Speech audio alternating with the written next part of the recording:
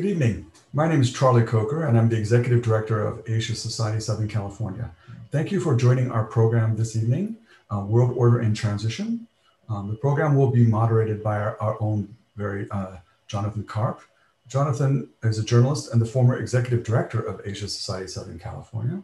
Uh, prior to his uh, stint with us at Asia Society, uh, Jonathan was uh, a senior editor at um, Marketplace Radio on NPR, and prior to that served as a journalist and uh, staff writer for the Wall Street Journal. So without further ado, I'll turn it over to uh, Jonathan. Thank you, Charlie, and welcome to everyone. I understand we have uh, audience members from 14 or 15 different countries on several continents, so uh, thank you very much for tuning in, regardless of the time of day.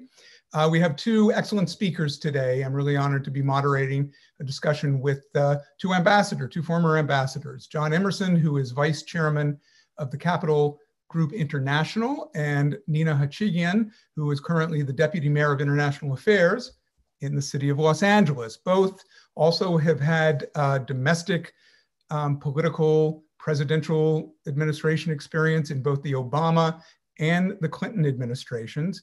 So they bring a wealth of knowledge about the domestic and foreign policy um, aspects of the, of the coming election and the near future.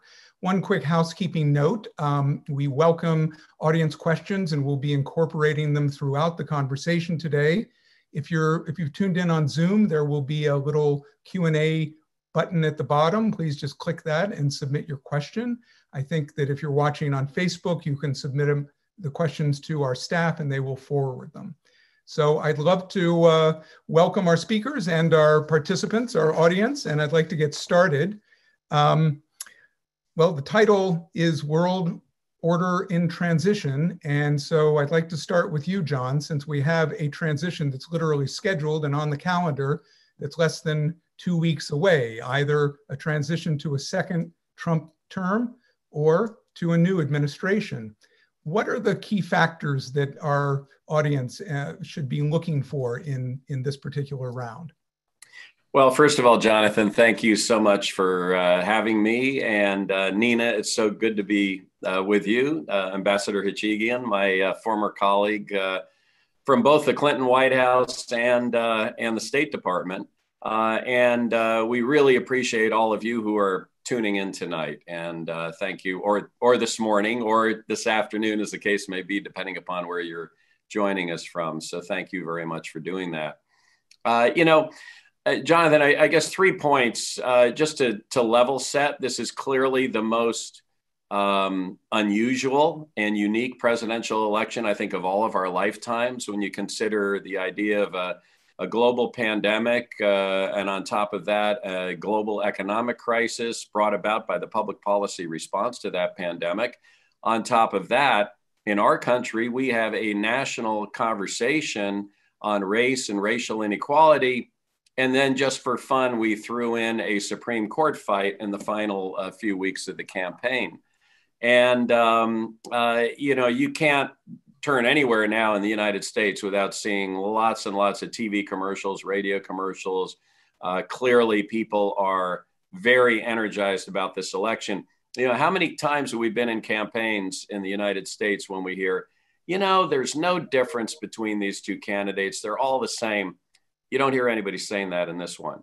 And, uh, and I think that in part is what has um, uh, created the energy uh, of the voting. Over 40 million Americans have already voted, compared to 5.9 million on this date uh, in 2016 through early voting or, or, sending their ballots in in the mail. And we've still got about 12 days to go till, uh, or 13 days to go till election day.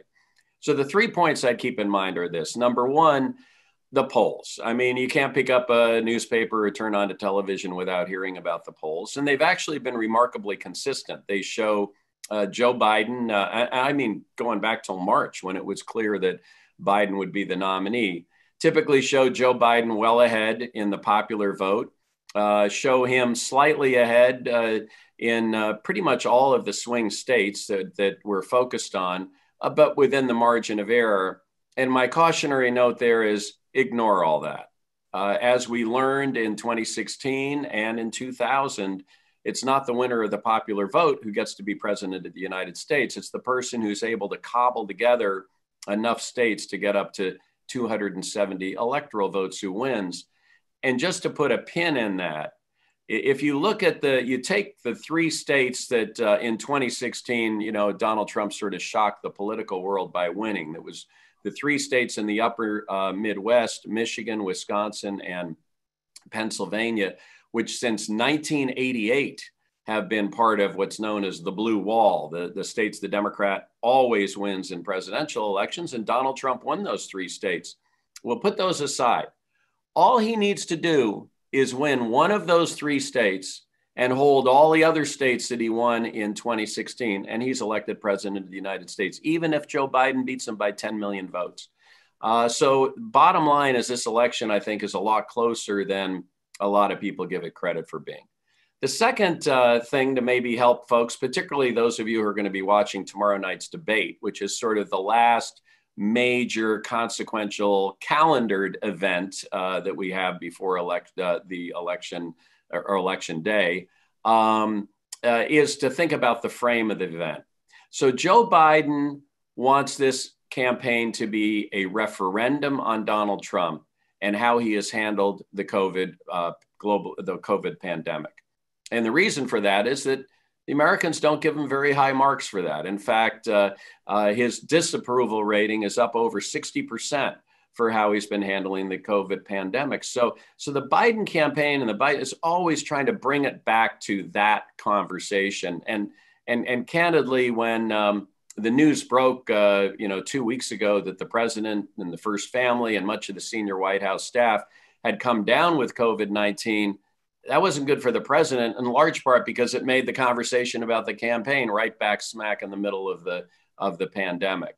The Trump campaign, on the other hand, is trying to remind people that a presidential election is not an up or down choice about an uh, individual. It's a choice between two individuals. And so they're basically running Trump as a candidate who uh, you know, you may not like everything he does, but boy, he sure knows how to build an economy. And and talking about the record that uh, that he had in the first, you know, three plus years of his administration until we ran into the pandemic. Uh, and by the way, this guy on the other side, Biden, is quite unattractive. And it took them a while to get their footing in terms of how they were going to characterize Joe Biden, uh, in part because one thing that you pretty much find uh, you know unanimous agreement on is that Joe Biden's a nice guy. He's uh, a decent human being. Uh, he cares about people. He's empathic. Uh, and so the early attacks on him as being corrupt or that kind of thing, th- those didn't uh, really stick. So what they're now doing is running against Joe Biden by pretending that he's by basically running against Bernie Sanders and Elizabeth Warren and the left wing of the Democratic Party. So the narrative uh, that the Trump campaign is trying to promote is, you know, Joe Biden is a nice guy, but he's getting old. Maybe he's lost a step. And if he's president, he's going to be controlled by the left wing of the Democratic Party. And you're going to see all sorts of policies like defund the police, like, you know, um, Medicare for all, which would eliminate private health insurance, it's, uh, et cetera, uh, that you don't like. And the reality is, Biden actually ran against those things in the primaries. That's how he won the primaries. But you will see in tomorrow night's debate Donald Trump trying to put Joe Biden in the uncomfortable position of, of, of basically, uh, you know, uh, going against those ideas and risking uh, annoying or minimizing the enthusiasm of the left. And in those three minutes of the first debate that you could actually understand what they were talking about, you heard Trump a couple times say, aha, you've just lost the left there when Biden was asserting himself against some of those positions. So that's the framing of the election. That's what you're going to see on the television tomorrow night and and and really through the rest of the of the campaign. The final point I want to make is the pandemic has changed not only the way we campaign but the way we vote. In most elections, about 25% of the American public votes by mail. In this election, we expect it to be over 60 to 65% of people are going to vote by mail. And voting by mail is it's not necessarily complicated to do, but it's sure complicated for the election authorities, uh, which are typically local uh, um, elected and non elected officials in every county and every state in the country. It's challenging for them to deal with. And the reason it's challenging is if you think about it, when you go and vote in person, you show your ID, your driver's license, or what have you. Uh, they look at the picture, they look at your signature, they say, okay, that's you, go ahead and vote. But when you're voting by mail, you don't have that authentication process. So typically, what happens is people fill out their ballot, they put it in an envelope, and then they're required to sign the outside of the envelope, often under penalty of perjury, saying, Yes, I am who I say I am. Sometimes in some states, they have to even get a witness to sign it as well. And so the first step that takes place when the election authorities receive this mail in ballot is they have to um, authenticate the ballot. And the way they do that is they compare the signature of the voter with the signature they used when they registered to vote, which might have been 10, 20, 30 years previously. Sometimes signatures change. Sometimes people ignore the restra- uh, uh, miss the instructions and they print their name instead of signing it. Sometimes they sign the name in the wrong place. Sometimes they don't sign it at all. For all those reasons, it turns out that historically, almost 1% of mail in ballots get disqualified. The problem with mail in ballots is not fraud. There's no fraud in this process. And the, and the um, FBI has confirmed that, notwithstanding what the president keeps talking about. The problem with mail in ballots is that this process of authenticating the signatures could well turn into the hanging chads, if you remember back to Bush v. Gore in 2000, of this particular election. And the way it can play out is if the polls, if, if the race is really close, and it's either a close, you know, uh, with Trump a little bit up or Biden a little bit up after, you know, the elections or uh, the votes are counted on November 3rd, I guarantee you in a number of these swing states, you will have the, the number of vote by mail ballots that have yet to be counted, or even that arrive after election day. Because if you drop the mail, uh, the ballot in the mail before election day, and it's and it's stamped by the uh, postal office, it still counts. Uh, will overwhelm what may be a narrow margin of uh, lead that one candidate or the other ha- has, and it may take days, if not weeks, to count those ballots.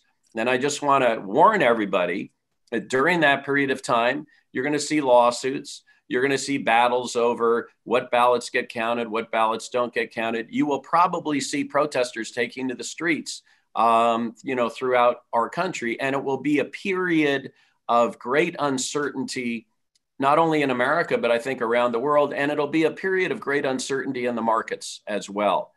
But the good news is, at the end of the day, the courts will rule, the ballots will be counted, the elections will be certified, and we will know probably by mid December, which is when the Electoral College has to get together. We will know who got 270 electoral votes or more, and that person will be inaugurated uh, in January, on January 20th of 2021. And at that point, when there's a restoration of certainty, I think the markets at a minimum will begin to, to come back and, and to stabilize. So uh, it's just important for people to be prepared that there may be this period of uncertainty and instability, uh, but we will get through it. Right. Well, the, the way you painted it, it's very clear, and it's it's clear to, um, sorry, it's clear to, uh, you know, I think the, the electorate and the world that, in a sense, democracy is on trial here, and I guess you could also say that that connects directly to foreign policy. Um, Nina, why don't you take it from there and sort of break down the sort of the major foreign policy implications of either a Biden or a Trump win? Sure, thank you. And it's it is uh, great to be here. Thanks for having me. It's great to be with uh, Ambassador Emerson as always. Good friend John, we've known each other for ages, and uh, you know, uh, the mayor was an Asia Society fellow, so he's got a lot of fondness for the Asia Society, as do I, um, which I've interacted with over the years. And welcome to everybody around the world. Um, so I'll start with the Trump, uh, second, a victory for Trump, which is easier um, because it'll just be basically more of the same. Although, unfortunately, I predict if Trump uh, wins, that his foreign policy will be even more chaotic um, there'll be actually even less policy and more danger. Um, that's because the the experts have almost all already left the building. Um, the folks who uh, that's not entirely true, but there are um, fewer and fewer um, professionals left um, who who want to um, conduct foreign policy under this president. I know that there are some career uh, people who are just hanging on, waiting for the results of the election. Um, but I'm afraid that if uh, Trump wins, that you'll see another exit um, of of really experienced people away from the State Department and the um, and the intelligence services and and elsewhere. Um, and that's saying a lot because we've already lost 60% um, of our career ambassadors, which is you know kind of impossible to replace those the incredible years of experience and and the incredible judgment that those folks have. Um, opinions of the United States are already around the world at an all-time low. I think at this point, if our allies um, will still be willing to work with us and will want to take us back, although I don't think that process will necessarily be always smooth. But with four more years of Trump, I think we'll find ourselves very alone, um, isolated, and much less powerful than than than even we are now. So let me turn then to a Biden victory. Um, and of course, I'm speaking only for myself, not for the campaign or for the LA city government. Um, so I think there are three. I've seen people slice and dice this various ways, but but the way I understand it is that there are three main pillars to a Biden foreign policy. So number one is to get our own house in order. Um, number two is uh, a return to cooperation, including uh, with allies and multilateral organizations. And three is a support um, for democracies and upholding American values. So let me talk about each of these um, briefly. So first, getting our own house in order. Um, there are a number of dimensions to this. What is really exciting to me is that every foreign policy leader that I know are now talking about how domestic policy and foreign policy are inseparable and they should not be siloed. Um, I completely agree with this. Uh, and in fact, some around 12 years ago, I coined a term formestic policy, which really did not catch on. Uh, but I, I, believe it firmly. Um, and my work in the mayor's office really only confirms my belief that we've got to get our own house together and invest domestically if we're going to be able to be strong on the global stage.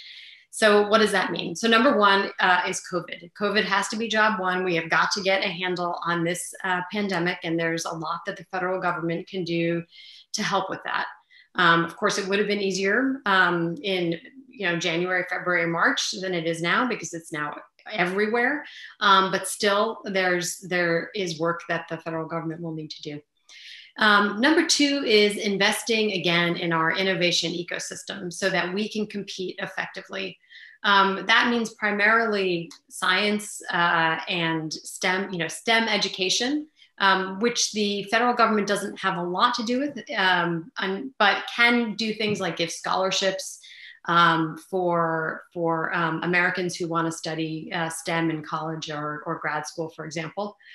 And second is investing in R&D, um, in basic R&D, which has decreased sharply during the uh, Trump administration. But all the investments that we have made uh, as a federal government over the years have been the ones that have basically created Silicon Valley and all the tech giants that we have now.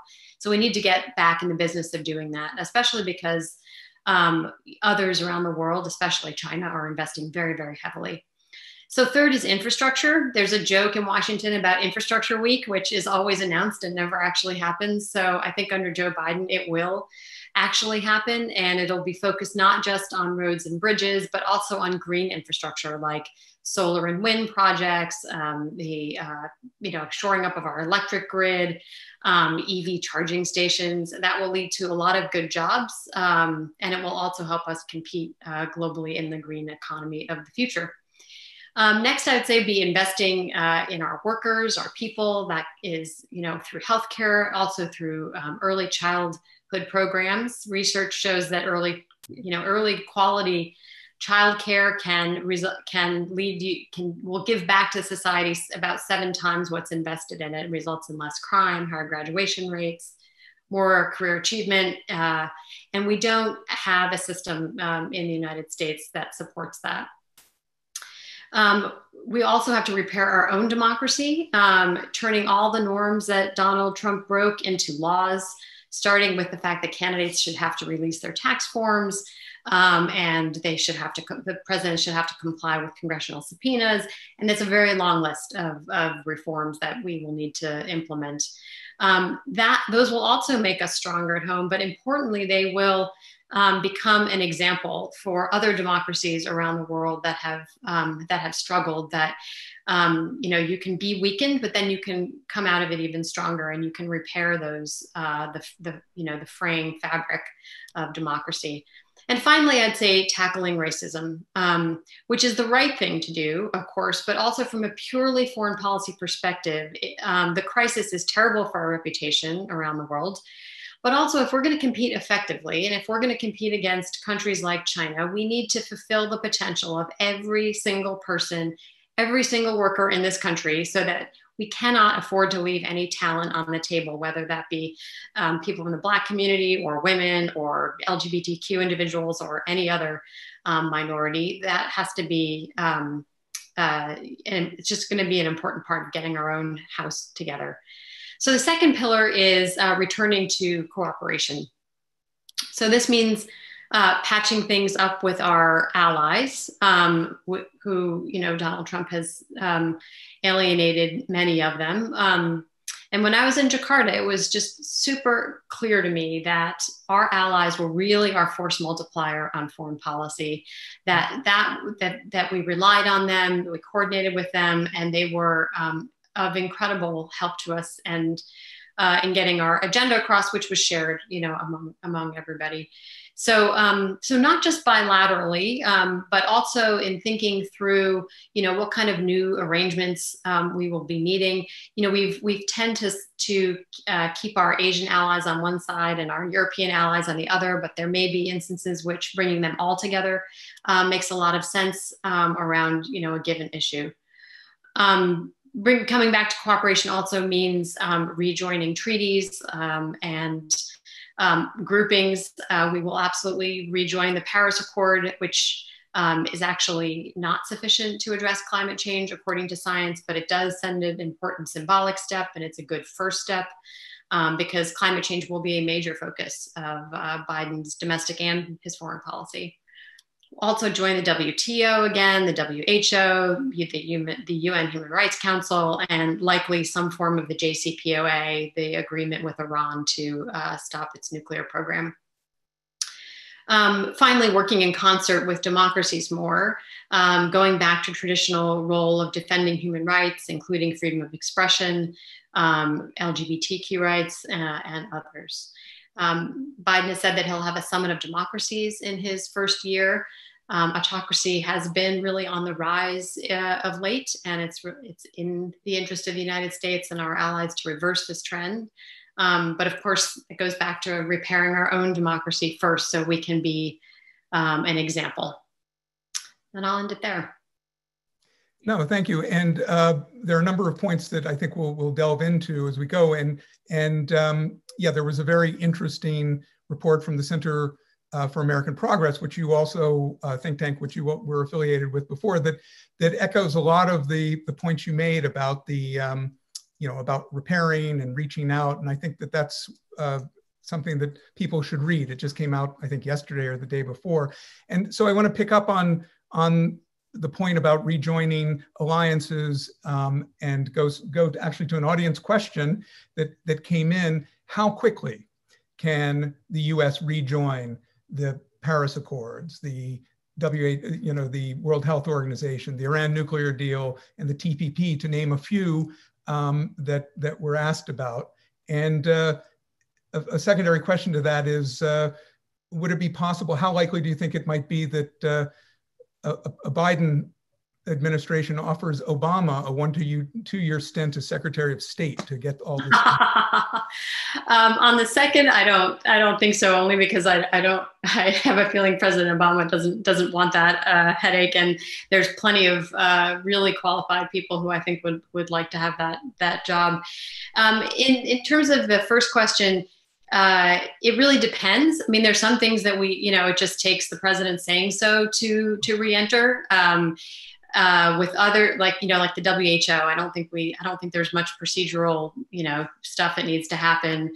Um, and uh, with the WTO, I think that's the case as well. I, I don't know that we formally left, but we certainly have uh, absolutely neglected it and harmed it by not appointing, um, not allowing the appointment of judges, et cetera. So, so I think you know those two in Paris will be very quick.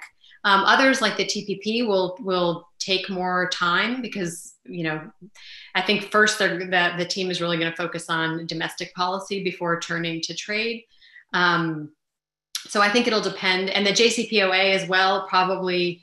Um, I, I, don't know whether there are thoughts to try to you know to to you know whether we, whether we could join you know right as it is now. I mean, Iran has already started um, uh, its centrifuges back up, so um, that's going to take longer to, to, to hammer out. Um, so I guess it really just depends on, it depends on, you know, what, what uh, treaty or organization and, you know, what the rules are and what the, what the current state of affairs is, which by the way, the team won't know until they get in, right? Because they don't, they, they will get some uh, uh, briefings beforehand, but you know, understanding the full scope of where we are with all the classified material won't happen until they until they're there.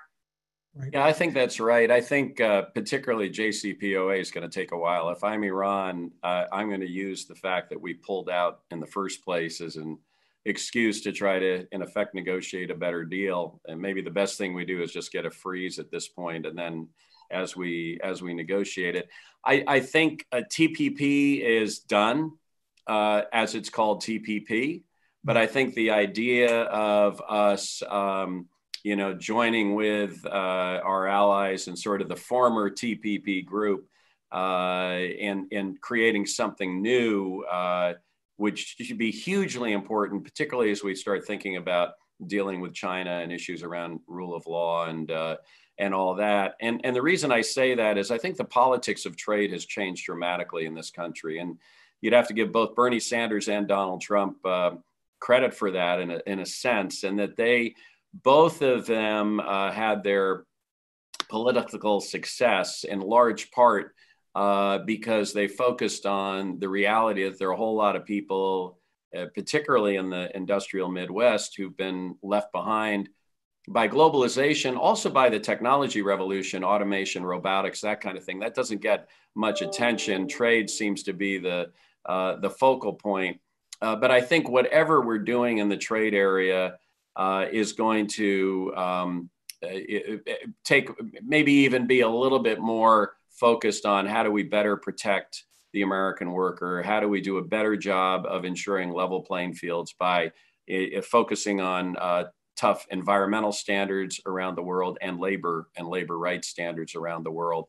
So I don't see us uh, doing a complete snapback to maybe where we were uh, on trade before. One thing that's interesting though is Tony Blinken, who's a former colleague and a good friend of both of ours, is uh, the the national security advisor, I guess, uh, if you will, for uh, Vice President Biden, gave a speech to um, uh, the uh, Chamber of Commerce a couple of weeks ago, where he said one of uh, President Biden's first acts would be to end the artificial trade wars with Europe, and and I have to believe that one reason for that is um, beyond you know, just sort of making peace with our allies and setting a new tone and that kind of thing, to begin to work with them, as Nina was suggesting, to collectively bring uh, our power to bear to reform, bring reforms to the WTO that are necessary to, uh, in, in particular, increase enforcement mechanisms, the teeth that uh, those mechanisms have, uh, and, and also to um, perhaps even join in a larger kind of TPP sort of uh, arrangement down the road.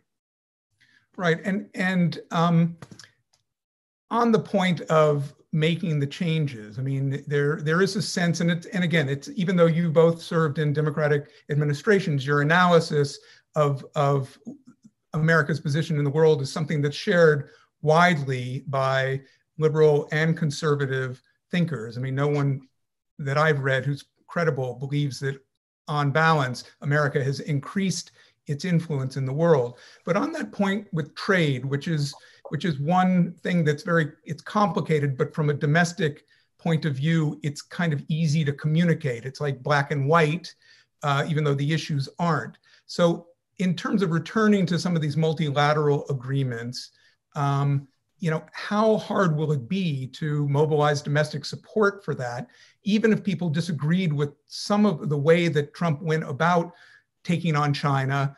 They they could at least understand at an elemental level that it's a quid pro quo and maybe they could benefit. So how would each of you assess the, the challenge of a Biden administration getting engagement to re-globalize in a sense?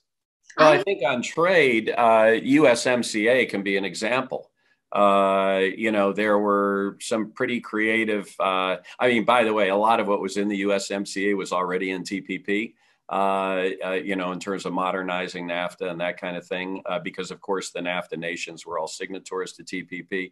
But um, but the idea of uh, the the way the USMCA was able to be structured uh, to get organized labor uh, in in support of it in Congress was that was pretty that was a pretty unique deal. I, when I was in the Clinton White House, I ran the you know, the war room to get the Uruguay round of the GATT through Congress and China most favored nation trading status in 1996. And in both of those instances, the Democratic Party base, organized labor, was very much against uh, those uh, efforts, which ultimately passed with bipartisan success. So I do think there's a, a model and a framework for it.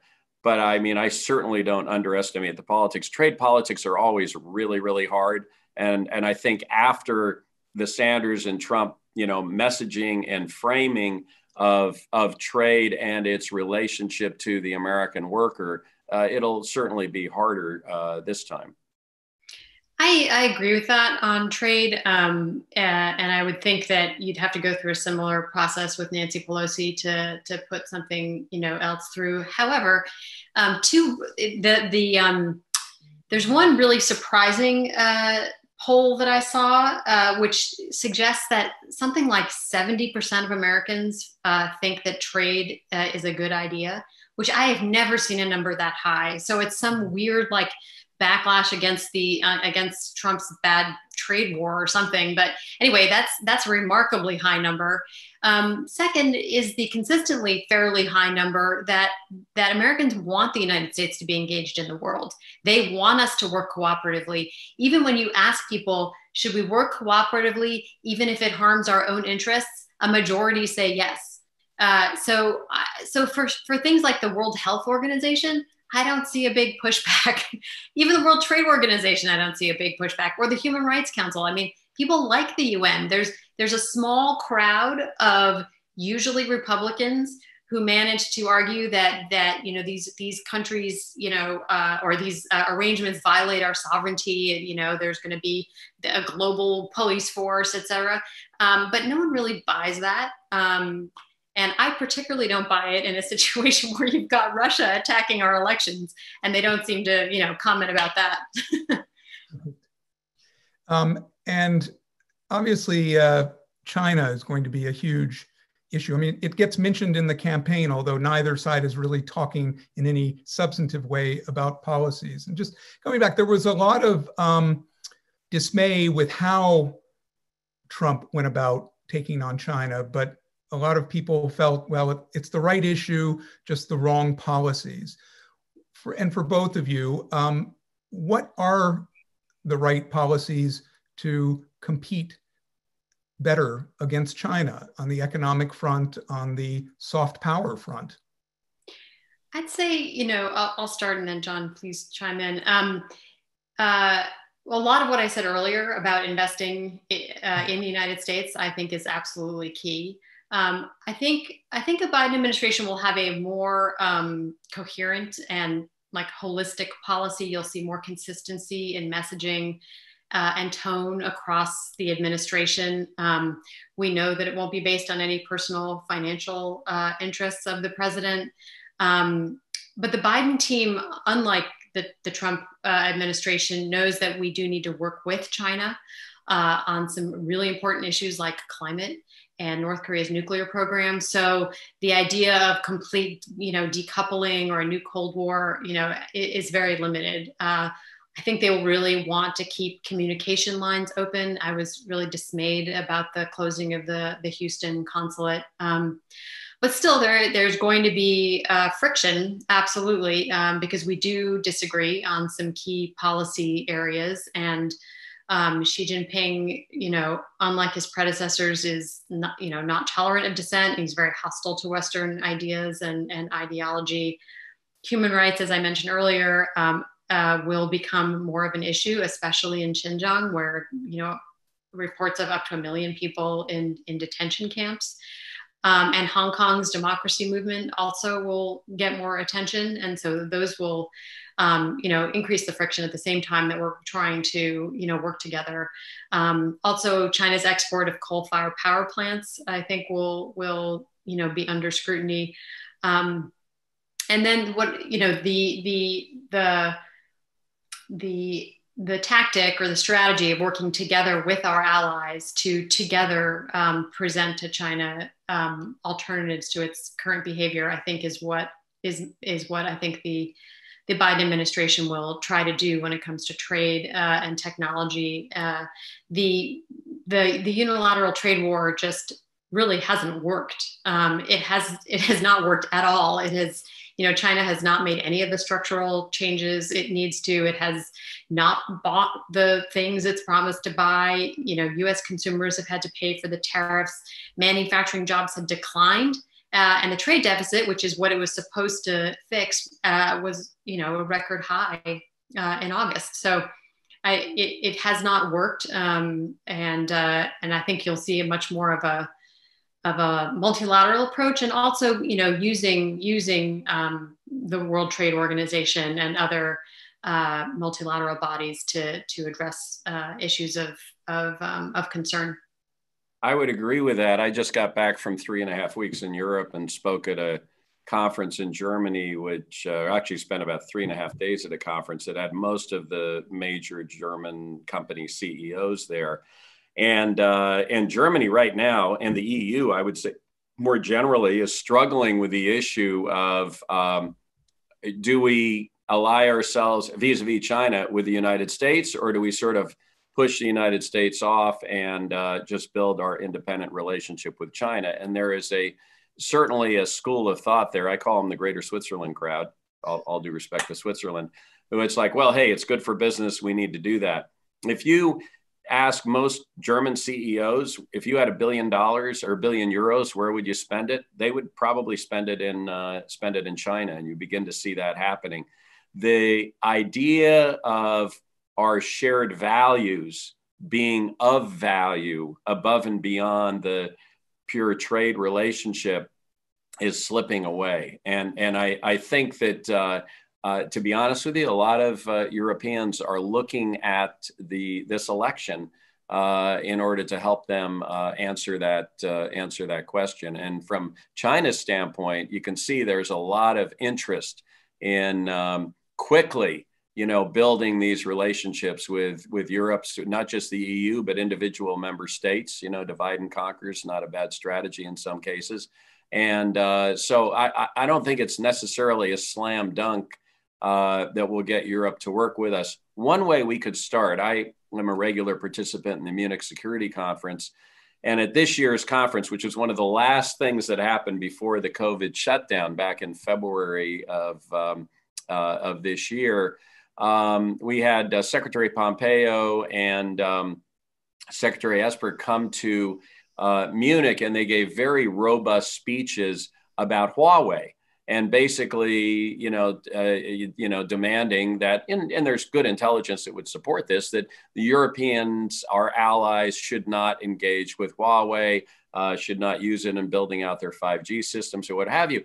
And the the vocal response, uniform response from Europe was, okay, great. What's your alternative? And I find it inconceivable with uh, you know, uh, American ingenuity and the technological area, and with companies like Ericsson uh, uh, and Nokia, that we haven't at least developed some kind of a Western consortium uh, to uh, have a cost-effective alternative uh, in building out the 5G. So, I mean, there's a lot of opportunities there, and and Nina, you're closer to this than I am, but my understanding is that the the Biden infrastructure package would also have, in addition to things like building out broadband in, in, in the rural America, which I think is super important, would also ha- have issues, uh, uh, uh, funds in it for those kinds of that kind of research and that kind of uh, development that I think could be really important in terms of knitting us back together uh, more quickly than might otherwise take the uh, take place.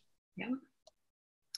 And, and and on that point, I mean the the, the whole Huawei um, issue. Uh, obviously, the Trump administration has tried to use courts and strong arm allies, but it does seem to be, as you point out, sort of a competition thing. It's a free market. We don't have in some ways the West doesn't have as compelling a solution.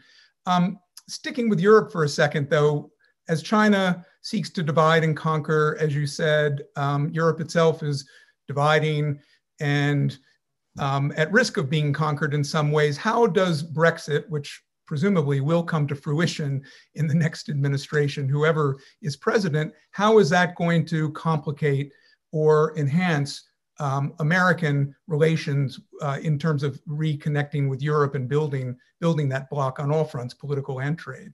Well, thanks for bringing that up because in in so many of these conversations, people forget about the fact that we're two months and a handful of days away from a hard crash out Brexit. Mm-hmm. Uh, you know, the it, it, wasn't just that the UK left the EU in uh, I guess it was January of this year. Uh, they left it in uh, the context of the Theresa May negotiated transition deal that kept the common market and the customs union intact until December 31st on the assumption there would be a new trade agreement negotiated. Now, they haven't made a heck of a lot of progress in that regard. And, and Boris Johnson just gave a pretty, uh, uh, I wouldn't say incendiary, but certainly, uh, uh you know, this side a hostile speech uh, about where the EU is and and and what have you. And uh, we could be in for a mess uh, after December 31st if they don't make some pretty quick progress to at least um, get us on the path to uh, a, a, trade agreement. Now that's really largely going to affect Europe and the UK. Uh, there could actually be opportunities for the United States in, in terms of that. And, and clearly, I think whether I got asked today earlier on a call, well, will the Biden administration want to negotiate a free trade agreement or a trade agreement with the UK separately. The Trump administration is working on that. The answer is absolutely. And um, you know, people need to understand that the trade rep's office that drives a lot of this is only a handful of political appointees. It's largely career professionals who, you know, and these agreements often get negotiated over two or three uh, different administrations. So, uh, so I think that particularly if Brexit happens without a, an effective uh, new arrangement, uh, or if it's really choppy, uh, that could create uh, opportunities for us uh, both in terms of uh, negotiating agreements. Certainly, there'll be a lot more pressure on the UK to do something with us, and and perhaps with the EU as well. I don't know, Nina. What are your thoughts on that? Yeah, I've been wondering. Uh, it seems like since they've gone a few rounds, um, I, I, I, was, you know, I was wondering about the timing uh, of, of of a trade deal. With, I mean, I don't see how we can not have one, um, but I also don't. I don't. I'm not clear on what the timing would be, given all their other priorities. You know, for the first hundred days uh, and beyond, and you know that we'll still have. I mean, there's the the the, the job before them is just overwhelmingly gargantuan because the other piece of it that that we don't often talk about is that we don't know half of what has gone on in this administration. You know we, we there's scandal after scandal but we don't know half of it. And so they're going to get in on day one and not only have this incredibly long agenda of things that they have to deliver on in the midst of a pandemic and a global you know and a, an economic recession um, and they will have to be, you know, we don't know the depth of the hole that they will be digging out of uh, on top of it all. So um, anyway, so my, so I agree with you. I just, I, I'm, I'm not clear on what the timing will be of, of, of really engaging on that. Although, you know, they're a really critical ally. Um, and so I certainly imagine that, you know, there'll be, there'll be early conversations with, uh, you know, with um, amongst the presidents and prime minister and and and switching back to the sort of the the human rights aspect of what you were talking about in, in, in terms of a Biden policy.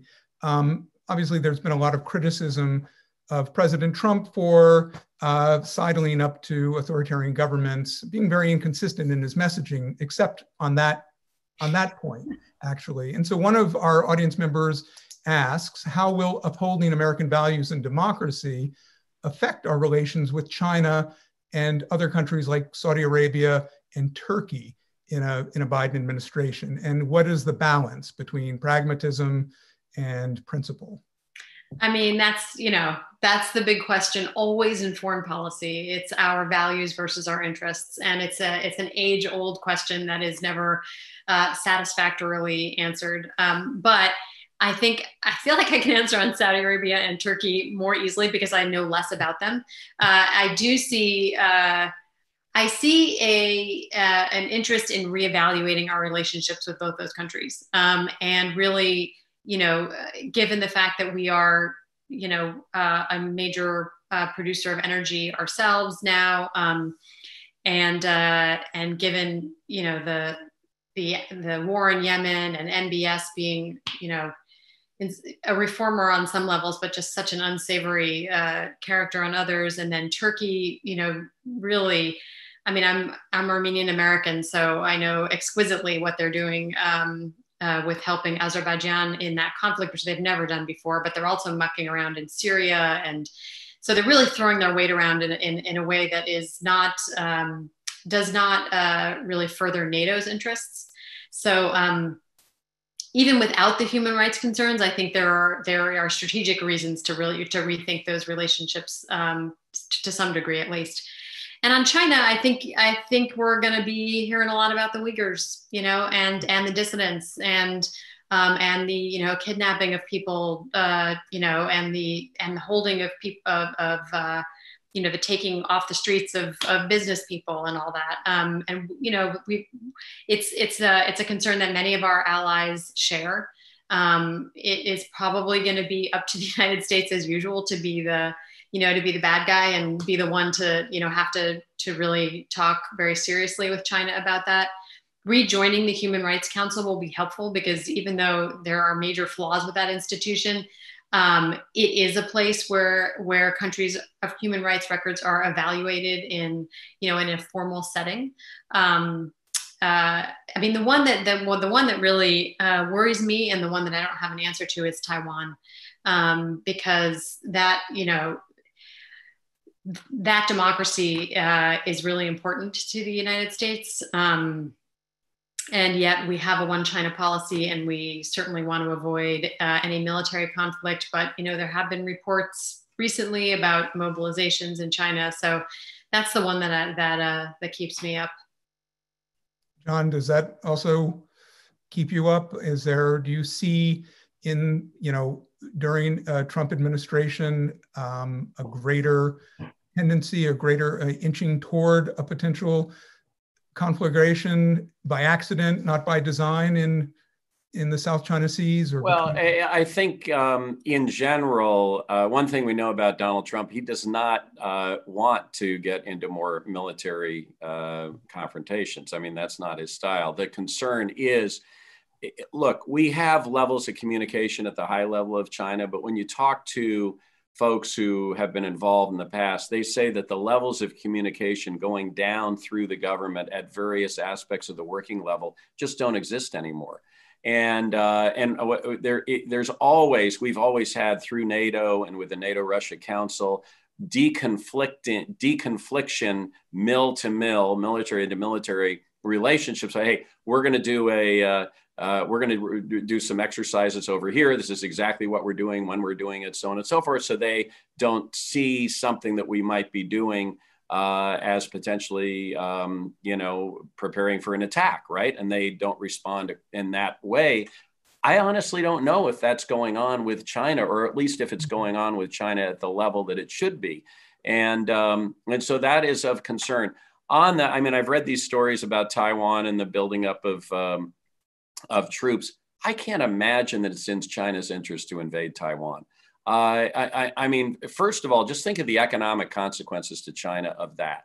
there would be a global revulsion. You would have sanctions, uh, uh, literally, um, you know, certainly from uh, most of the Western world as a result of that. You would sure, for sure, have a very adverse reaction from Japan and uh, and South Korea, uh, from Europe, United States, what have you. It would hurt China very badly economically. And does China really want to be an occupying force? uh, on on uh, on Taiwan. Taiwan. I, I, find that hard to believe as well. Uh, so I don't really know what's going on there. I certainly don't have any uh, readout and uh, information in terms of what is in fact going on. Uh, but it just strikes me as um, these stories that would China take advantage of uncertainty in the American process if we have a long period of time where it's unclear who the next president is by invading Taiwan? I honestly just don't see how that's in China's interest. I mean, I think as, as a lot of people have described, China's strate- strategy, global strategy, is primarily economic, and that's been the biggest change, let's say, in the in the world order in recent years. And so, one of our audience members is asking um, whether you think uh, the Chinese economy, given the pandemic and what it's done to the U.S. economy, um, and given the fact that China is rebounding already, at what point will I mean will China surpass the US as the largest economy in the coming year? And what, if any, particular impact would that have on a US administration's policy? Well, certainly not in the coming year. I mean, uh, over time, who knows? I mean, just you know the, uh, the, the economic story of China is pretty remarkable, and and you look at the population, you look at their growing consumer class. Uh, you know, what's interesting about China is it increasingly will become a nation less dependent upon supply chains from multinational companies and more uh, you know, building its own, kind of like we did, you know, building its economy on the basis of the consumer needs of its citizens. Uh, you know, so that's something that could, you know, develop over over time.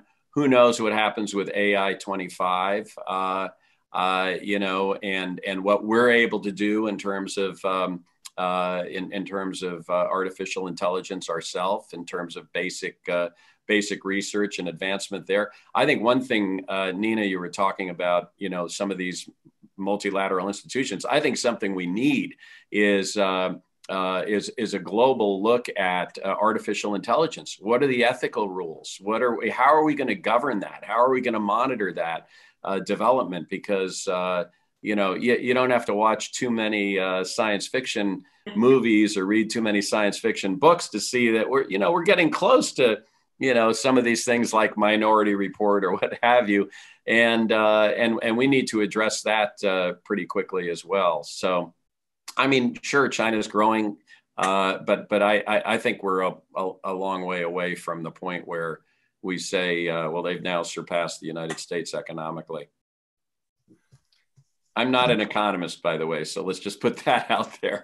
You have a lot of uh, geopolitical economic strategists working around you. So uh, um, anyway, no, but, but thanks. Um, actually, I want to go to an audience question that will take us back to the Middle East, um, given that we talked about the periphery country, peripheral countries of the Arab-Israel conflict. Um, Nina, how would you anticipate uh, the Biden, a Biden administration would approach that conflict, um, given that Trump has worked to, to avoid that issue and to bring in other Arab countries with Iran in mind. Would Biden reemphasize the uh, Palestinian issue? Uh, I think to some degree, yeah. I, I, think I think you would you'd find I would hope kind of a more strategic approach. I mean, I am no expert in this area. John should certainly chime in, but it strikes me that there have just been a series of actions that haven't um, that haven't really addressed the core problem. Um, uh, and so yeah it's it's good to have you know israel and, and the uae normalize relations and bahrain and maybe sudan like that's all good you know um, and then you know moving the capital whatever. But none of that is is has addressed the central challenge. And so we haven't used any of that as leverage to address the central challenge.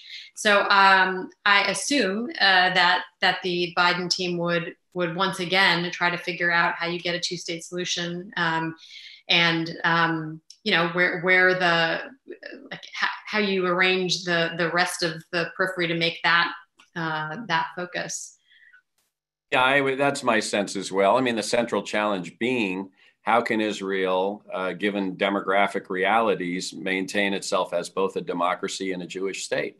Uh, at some point, you have to go to a two-state solution uh, in in terms of dealing with that. So. I, I, don't see the Biden administration all of a sudden saying, "Okay, the embassy's back in Tel Aviv" or, or something along those lines. Um, I've been working in presidential politics a long time. I think every candidate I've worked for has pledged to move the embassy. Uh, but again, as Nina suggested, you know, as part of a comprehensive uh, deal that would move us closer to the two-state uh, the two-state solution. But uh, as Nina, this is not my area of expertise either. Okay, well, I'm, i want to end on a question for uh, for each of you. I mean, one of the most powerful misinformation and disinformation has been around as long as diplomacy has been around. Um, but of course, there are many more powerful tools for that, which makes the job of of any admin, any foreign policy harder. So you have both served as ambassadors. How would you confront the greater challenges now of articulating American policy while probably having to unwind a lot of misconceptions uh, that complicate your job? Is that, uh, well, anyway, I just want your thoughts on the whole misinformation uh, uh issue and how it would complicate creating a coherent foreign policy. We need to communicate foreign policy entirely in TikTok dancing. I'm just kidding. if TikTok it. is if TikTok is still uh, available. Mm-hmm. Um, no, I don't. You know, I think it's a it's a serious serious challenge. Um, so I think it needs to be a combination of telling the state actors who are involved that we're not going to tolerate it, um, and doing that in a forceful way um, and then you know just trying to do our best to communicate in um, probably crisper funnier more interesting ways than than diplomats tend to do. I would encourage everybody i, I watched this documentary last night that my kids suggested i watch called social dilemma uh, on Netflix. So. And and I would encourage everybody to look at this. I mean, the the whole way social media is can be so skillfully exploited, and this is really you know what the Russians are doing. I mean, in in in in some places it was cyber attacks and all that. In our country, it's much more that kind of thing uh, of of just dividing people and and putting them, you know, confronting them with one another uh, and, and, and encouraging or, or fostering confrontations over made up stuff uh, is uh, it, it, just that has to stop. And uh, and I think one thing, regardless of whether it's a, a Trump administration or a Biden administration, you can see the United States Congress take a very hard look uh, at uh, some of the social media firms in terms of, uh, of, how do we get a better handle on, on regulating this? Because the and the tendency the thing about social dilemma just talks about how these algorithms have a tendency to put people more and more and more in their own silos. And the more you check something you like that's the only information you get. And so that's why you can have these thanksgiving uh, dinner conversations around tables in america where people literally do uh, proceed from a completely different set of facts uh, because they aren't even getting the other point of view. And, and I think that's, um, uh, that's something that really has to be addressed at a fundamental level.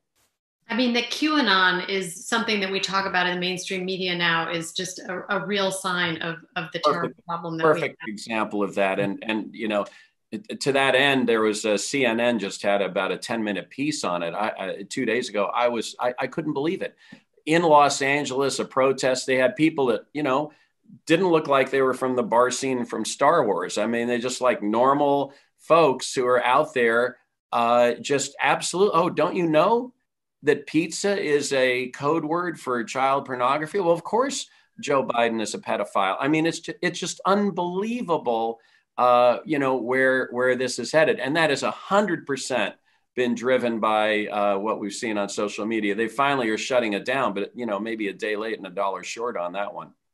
Yeah, it kind of invokes the word, word re-education, which doesn't seem appropriate for the U.S., but it, it is uh, getting out of hand. Anyway, I'm sorry that we have to stop it there. It's been fascinating, and I want to thank you both. Uh, um, Your Excellencies, Ambassador John Emerson, who served as ambassador to Germany and Ambassador Nina Hachigian, who served as ambassador to ASEAN. And depending on the outcome of the election, perhaps you'll be back on the road. Um, anyway, thank you both. And uh, thank you to our audience around the world. I'm going to hand it back now to Charlie Coker. Thank you. Thank you so much, Jonathan. And thanks to again to Ambassador Hachigian and Emerson for an amazingly interesting and insightful discussion.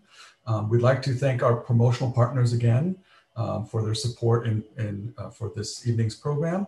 We'd also like to um, make a, uh, an appeal for people to become members um, and to make donations. Um, these programs are all uh, provided for free um, and uh, we would generally appreciate your support. Uh, we'd also like to note that um, uh, Asia Society Southern California will be putting on its annual um, US Asia Entertainment Summit the week of November 16th through the 20th. So please mark that in your calendars and additional information will be coming to you shortly. So thanks again to everyone and uh, have a great evening. Good night.